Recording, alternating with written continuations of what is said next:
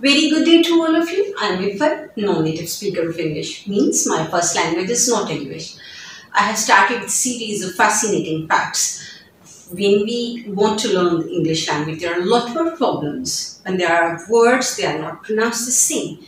In the previous video, I discussed with you that there are CH words that are not pronounced with j sound they're pronounced with sh sound and it is actually the French influence on the English language. It's a very natural phenomenon for the languages, any language in the world, that they accept and they absorb the influence of the other people uh, that invade that country, that come to that country, that have um, that have influence on them, and when they intermingle with other nations, they accept their influence on their language, on their living style, whatever.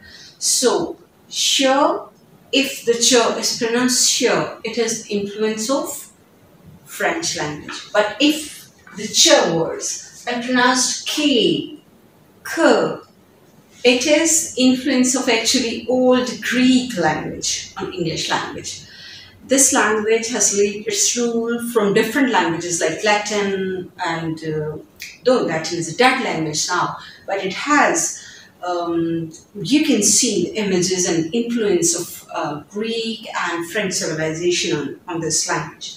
So the ch words with k sound, they are actually anchor. What I want to tell you that you have seen these two letters, CH, there are two letters, but they're not blended. They give you one sound, and that sound is k. And if it is sh, then it will be one sound. If it is ch, it will be one sound. The letters are two, but they're giving you one sound. So here, the words with Old Greek influence are will be pronounced k, anchor, epoch, chaos, school, schizophrenic, chemistry, chrome. You people might be well aware with this word. Chrome, chasm, chronic, schooner, echo. There is no C sound in English Latin. C always gives you the k sound.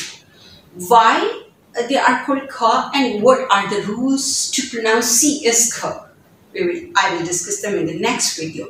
Hope you have enjoyed. When we find the reason for anything, actually it's a journey of satisfaction towards that knowledge.